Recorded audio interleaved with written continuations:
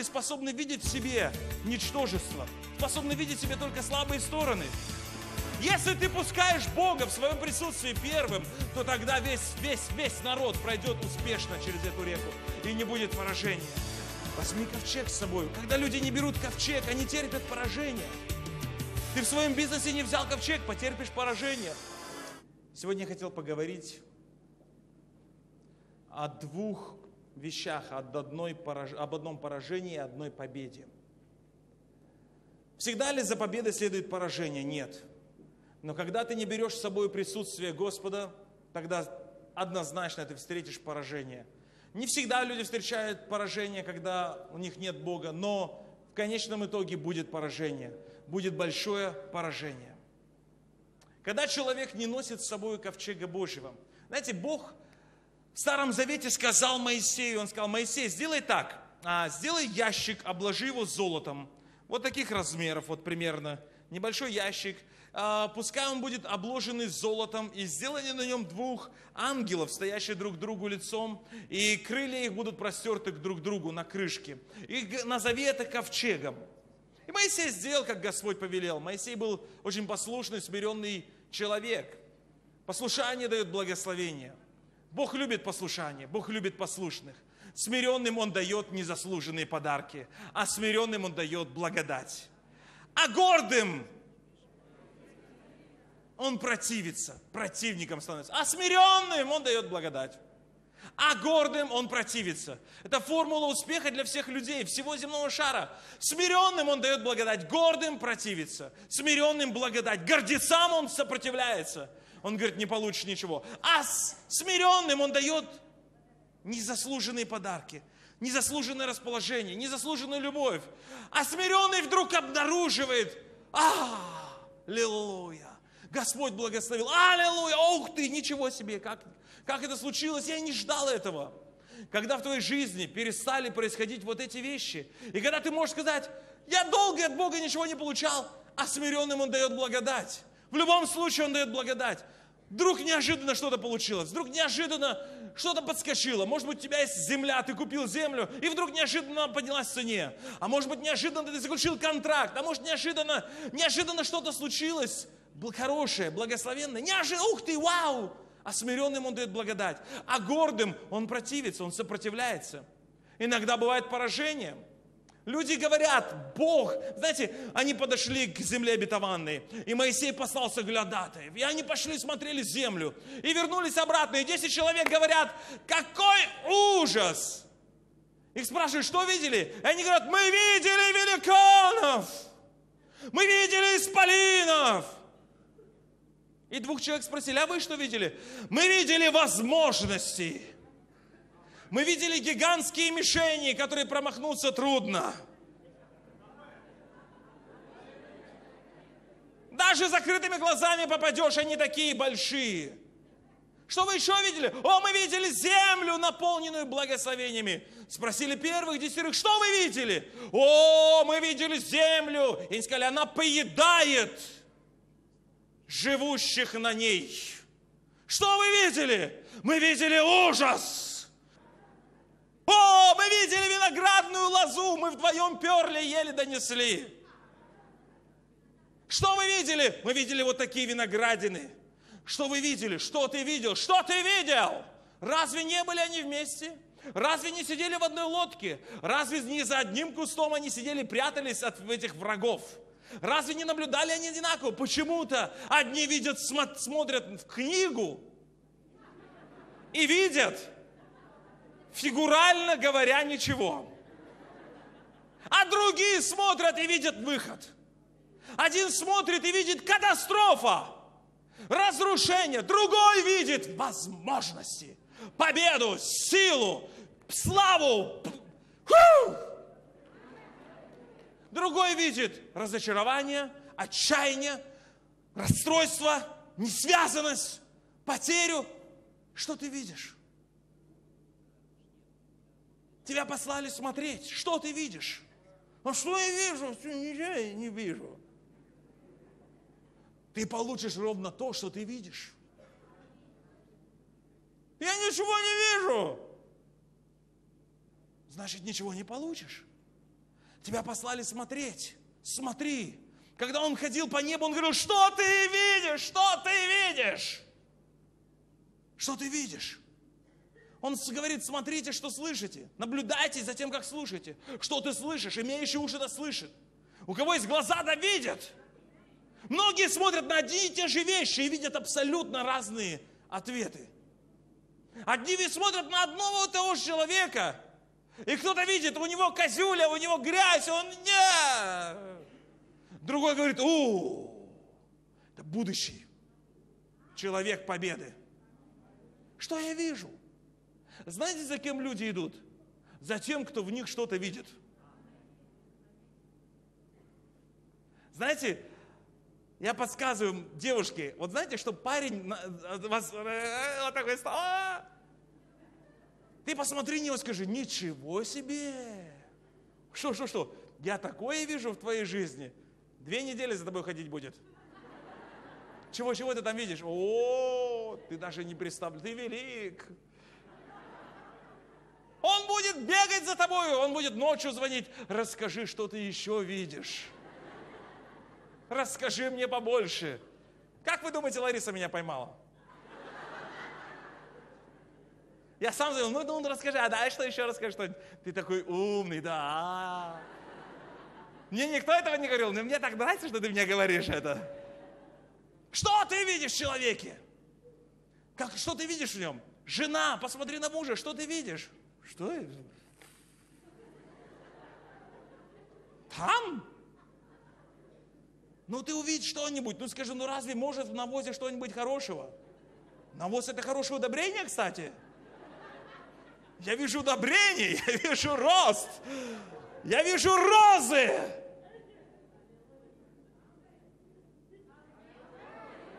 Сестры, аминь, скажете про своих мужей или нет? Что, так и навоз на самом деле, что ли? Что ты видишь? Что ты видишь в своем сыне? Что ты видишь в своей дочери? Что ты видишь? Ты получаешь то, что ты видишь. Они ходили вместе. Они видели на самом деле укрепленные города. Они видели армии. Они видели врагов. Но одни видели их, они видели врагов, которые топчутся над ними. А два молодых человека видели врагов побежденных. Что ты видишь? Что ты видишь, когда ты смотришь на обетование? Бог сказал, даю тебе благословение. Что ты видишь? Ой, там большие дядьки ходят. И они говорят, ничего я не получу. И ты им поверил? Да, мне сказали, не приходи больше. И что ты будешь делать? Я не пойду. Вы слышите, когда слышали таких людей, которые говорят, мне сказали больше не приходить. И? И ты, что ты сказал? Я больше не пойду туда. Точно так же сказали эти самые исполины. Больше сюда не приходите. Ну, покажем. Но кто с тобою? Ну, я маленький, но ты человек Божий. И в тебя трудно попасть. Он неповоротливый, здоровый будет, э, а ты шук, шук, шук, шук, шук, бэнс по голове, пукс, и все. Что ты видишь? Ищи возможности. Многие люди способны видеть в себе ничтожество, способны видеть в себе только слабые стороны. Но что ты видишь? Неужели совсем не за что зацепиться? Что ты видишь? Посмотри, ну что-то же есть, за что можно Богу зацепиться. За то, что можно тебе зацепиться. Ну есть что-то. Ну мне сказали не приходить. Ну и ты поверил им. Ну почему? Говорят, есть закон трех нет. Приходишь первый раз, говорят нет. Второй раз нет. Третий раз нет. Третий раз говорят, зачем пришел? Потому что я хочу услышать да. Нет. Тогда включается закон четырех нет. Но на какой-нибудь 18 раз они скажут, да, ладно, только отвяжись. Жизнь полна возможностей. Только не забудь взять с собой ковчег. Когда они вернулись обратно, народ стал кричать и говорит, нет Бога. Убьем Моисея, вернемся в Египет. Покаемся, склонимся перед фараоном, скажем, ты наш Бог. Началась смута. И Господь проявил свою мышцу. И показал, что я Бог. Все оцепенели. Точно, ведь у нас же есть Бог. Ведь Он нас вывел с Египта. Ведь Он нам сделал чудеса. Ведь Он нас, нам море открыл. Он нам все сделал. Он нам все сделал. Ребята, мы же рабами были. Три месяца назад рабами. Вот мы стоим. Вы что, забыли, что мы рабами вчера были? Сегодня мы свободные. И тогда они сказали, а Бог сказал, все, теперь 40 лет туда даже не суетесь. Знаете, что они приняли решение? Проявились праведники. Бог сказал, больше туда не идите. Идем туда, в пустыню. Я буду вас учить. И тогда очнувшиеся люди, которые не получили благословения, у них вдруг позднее за, за, за этот, замыкание начинает. Э, надо идти взять землю, Бог нам обещал. А Бог уже обещал через 40 лет дать, пока все не умрут в пустыне. Они сказали, не принимаем, берем по вере. И они пошли в землю обетованную. Давайте откроем это в Библии. Это известная история, все ее знают, 200 раз проповедовали. Числа 14 глава. И когда Моисей, 39 стих, сказал слова сии перед всеми сынами Израилем, и народ сильно опечалился. И теперь у них позднее замыкание. И встав рано по утру, пошли они на вершину горы, говоря, вот мы пойдем на то место, о котором сказал Господь, ибо мы согрешили. И Моисей сказал, э, э, для чего приступаете по велению Господне? Это будет безуспешно. Не ходите, ибо нет среди вас Господа, чтобы не поразили вас враги ваши. Ибо амаликитяне и хананеи там перед вами, и вы попадете от меча, потому что вы отступили от Господа, и не будет с вами Господа. Но они дерзнули подняться на вершину горы. Ковчег же завета Господня и Моисей не отходили от стана, не оставляли стана. И сошли амаликитяне и хананеи, живущие на горе той, и разбили их, и гнали их до Хормы. И возвратились, там написано, стан. Вот вам история.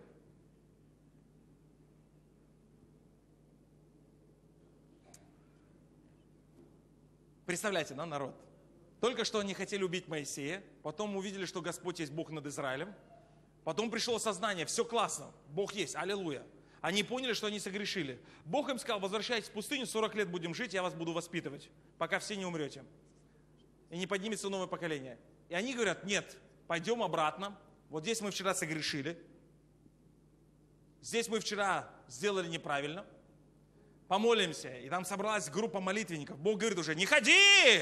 Они говорят, аллилуйя, Господь! Ну и что, что ты сказал? Все равно пойдем. Ты же нас благословишь, мы через море прошли, аллилуйя. Моисей говорит, не ходите. Он говорит, да подожди, ты сиди там со своим ящиком. А Моисей все время с ковчегом и со скиньей, там, знаешь, носится. Сиди ты, мы сейчас пойдем, и теперь воевать надо. Ребята, у кого мечи есть, палки, там, что есть, ножики, пойдем в войну, сейчас мы амеликитянам закажем, покажем, где там раки зимуют в Египте. И вот они рванули на эту землю, которую Бог им обещал. Преждевременное благословение решили получить. А Моисей и ковчег Господом остались стане. Это было большое поражение. Да? Представьте, после всего этого катастрофы пойти за благословением и получить по шее. Если ты не послушен, и ты не берешь с собой присутствие Божие, а ковчег – это место, где обитает Господь, тогда пути твои будут неудачны. Ты не встретишь успех, если ты не берешь с собой ковчег –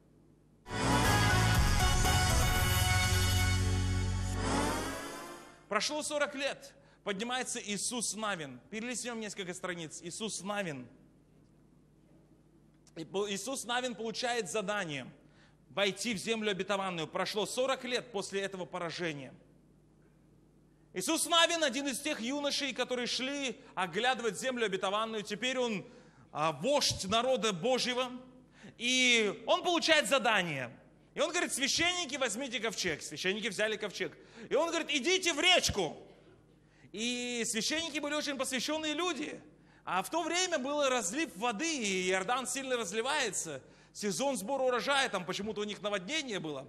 И вот они зашли в воду, только несущий ковчег Завета Господня, 3 стих, 3 глава, 15 а, стих. Только ноги, только несущий ковчег вошли в Иордан, ноги священников, несших ковчег, погрузились в воду Иордана, и Иордан же выступает из всех берегов во все дни жизни. И вода, текущая сверху, остановилась и стала стеною. и весьма больш, на большое расстояние до города Адама. И так далее, и так далее, и так далее. 17 стих. «И народ переходил против Иерихона. Священники же, несшие ковчег Господня, стояли на суше посреди Иордана, твердую ногою. Все сыны Израилевы переходили по суше, доколе весь народ не прошел через Иордан.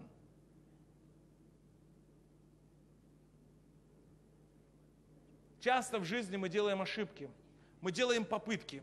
Я попробую взять благословение. Я попробую получить. Я попробую прорваться. Я попробую. Давай попробуем. Пойдем, пойдем захватим этих амаликитян. Пойдем и врубим. Аллилуйя. Помолимся и все. Аллилуйя. И потом поражение. Бах. Проходит время. Приходит взросление. И теперь приходит новое задание. Теперь иди возьми землю обетованную, которую обещал Моисею, которую обращал Аврааму, Исааку, который всем твоим предкам обещал. Бери ковчег. И первые пошли не военные. Первые пошли не какие-то там разведчики. Первые пошли священники. Они взяли ковчег. Это присутствие Божье. И они вошли в Иордан.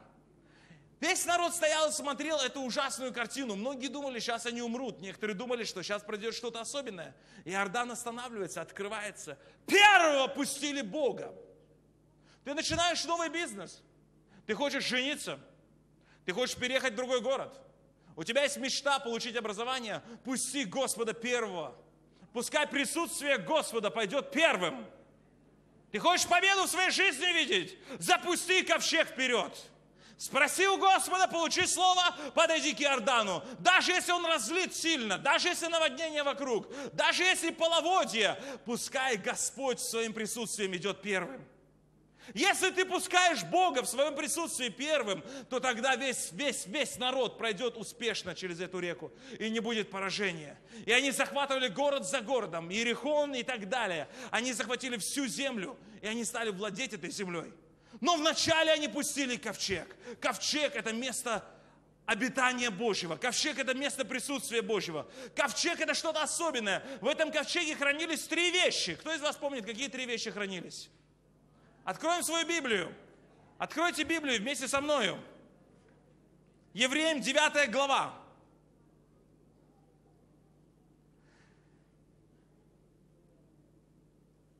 Ковчег Завета – 4 стих, Евреям 9 глава, 4 стих.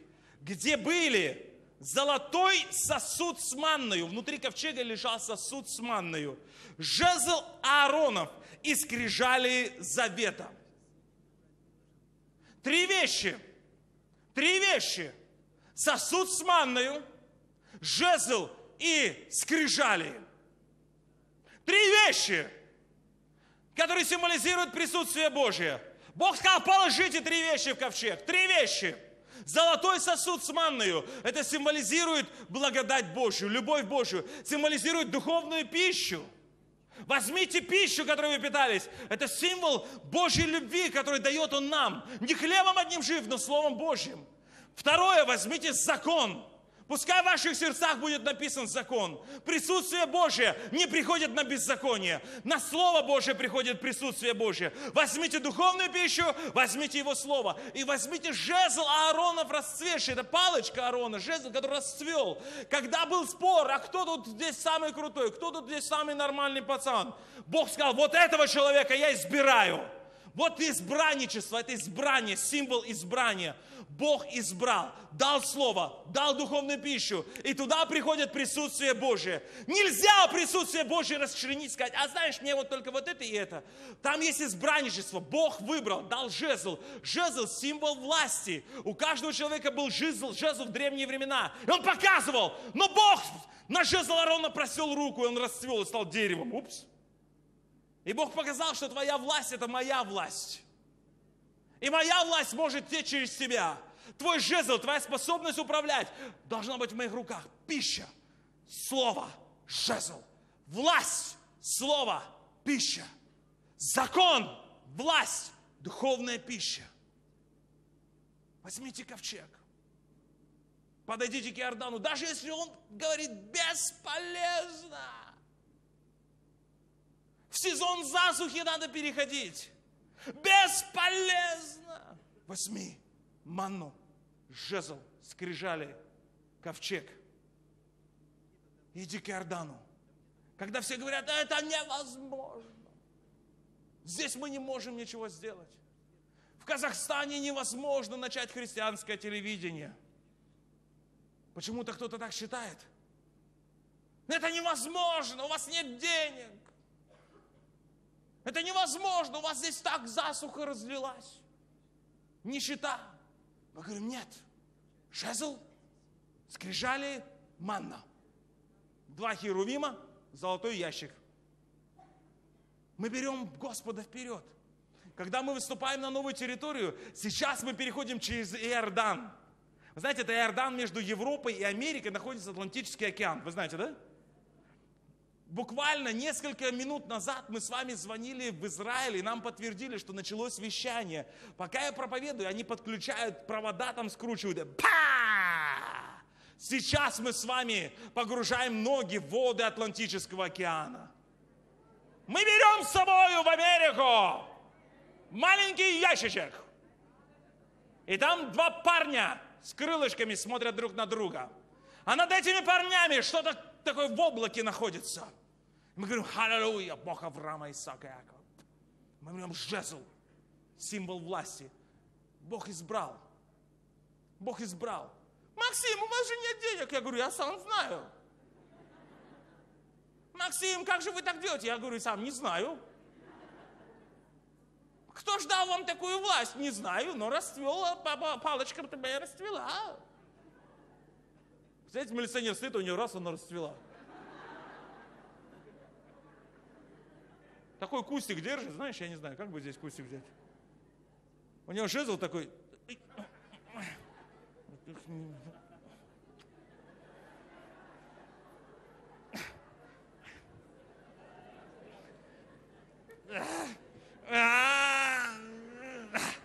О.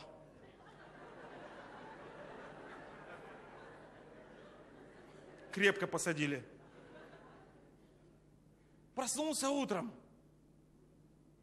а там листья выросли. Ты думал, это такое, знаешь, основание, палка, кому хочешь по башке дам. А он показывает, это моя рука над тобою. Максим, почему это вы начали? Я говорю, я не знаю, просто вот одна палочка, вот, вот, вот.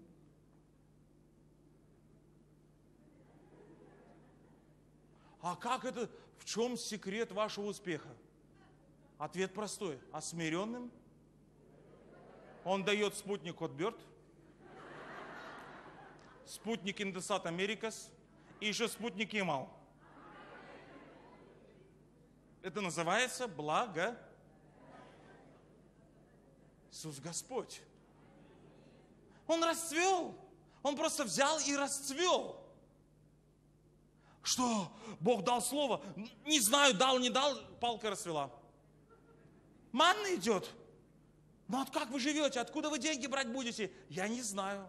Когда мы начинали три года назад вещание, я не знаю, откуда деньги мы брали. Я до сих пор не знаю, откуда мы их берем, деньги. Но почему-то всегда, когда оплачивать, Бог благословляет, и кто-то приходит и говорит, я чувствую, Господь сказал, и мы оплачиваем завещание, эфир, и за все остальное, мы берем в Атлантический океан ковчег. Мы туда несем манну, пищу небесную. Многие думают, из Америки к нам придет, а мы говорим, нет, мы в Америку понесем их, кормить будем, аллилуйя.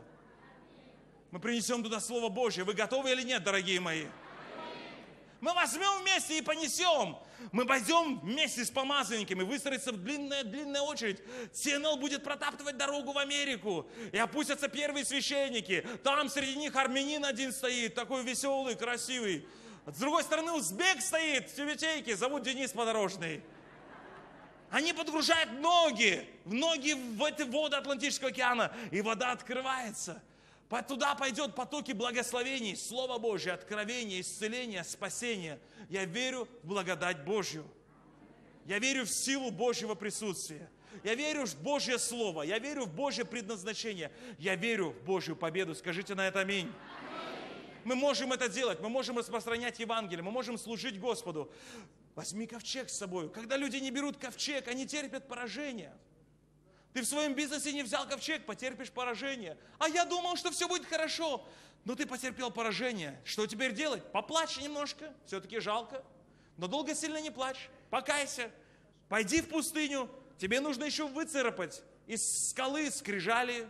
Тебе нужно еще дождаться, пока твой жезл расцветет.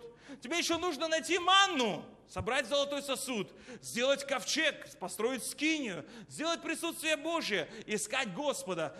Возьми время, пустыня это хорошо. Время, когда ты можешь найти Бога. Время, когда ты можешь переосмыслить. Не будь спешащим куда-то. Подумай, скажи, Господи, я ожидаю, я даю время, я даю время, я даю время тебе, Боже, работай. Я пойду в библейскую школу, я буду ждать, работай, Господь. Вот я, используй меня. Я даю время. И потом наступит момент, когда Он скажет, теперь Возьми ковчег, положи туда манну, скрижали и жезл. Иди в Иордан. И тогда ты увидишь чудеса.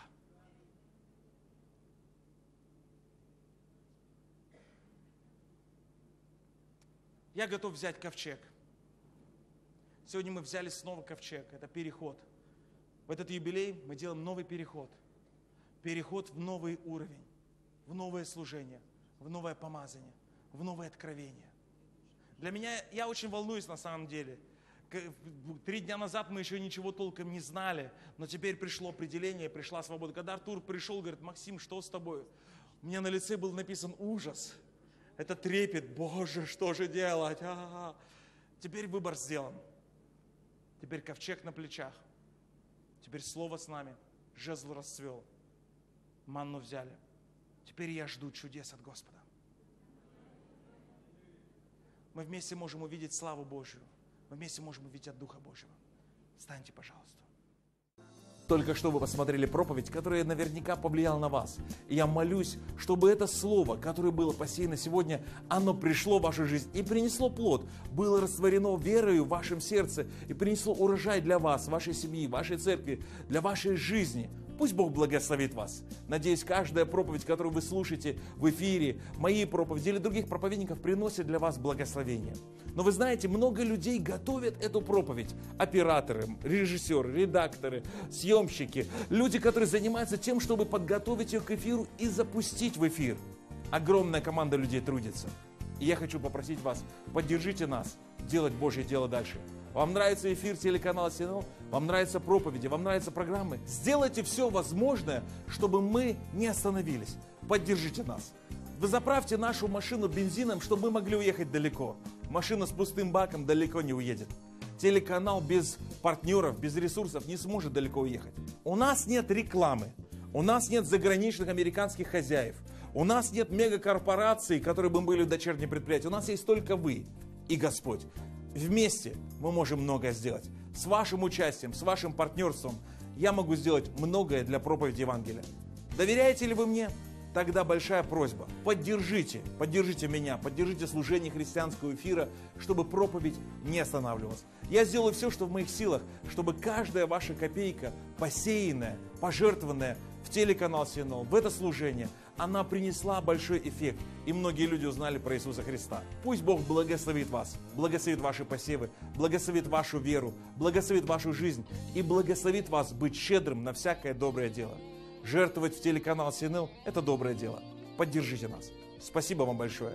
Ваш партнер, ваш друг Максим Максимов. Вы только что посмотрели проповедь Максима Максимова, который является пастором церкви «Новая жизнь» города Алматы, епископом церквей «Новая жизнь» и основателем CNL. Мы благодарим вас за партнерство. Ваше участие в поддержке CNL помогает созданию таких программ. Пусть Бог благословит вас.